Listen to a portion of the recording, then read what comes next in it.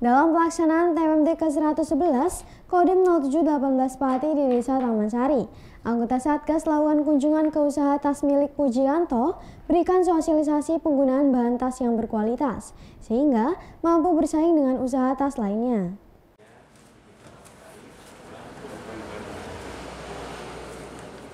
Dalam rangka mendukung kualitas usaha produksi tas milik Pujianto, warga desa Taman Sari, anggota Satgas lakukan kunjungan beri sosialisasi penggunaan bahan tas berkualitas. Sersan 2 Surahman, anggota Satgas TMMD ke-111 Kodim 0718 Pati mengatakan, sosialisasi penggunaan bahan tas yang berkualitas kepada Pujianto, agar tas produksinya lebih berkualitas sehingga mampu bersaing dengan usaha tas lainnya. Tidak hanya itu, Sersan 2 Surahman juga memberi arahan cara mengelola usaha tas dengan media online agar semakin dikenal oleh masyarakat.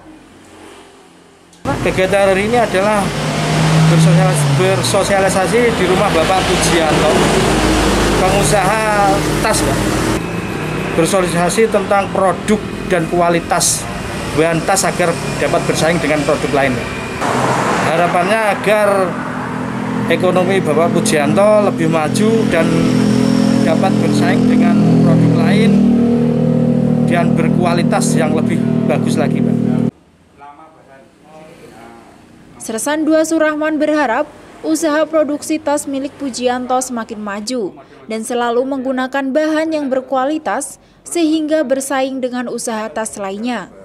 Tim Liputan, Cahaya TV.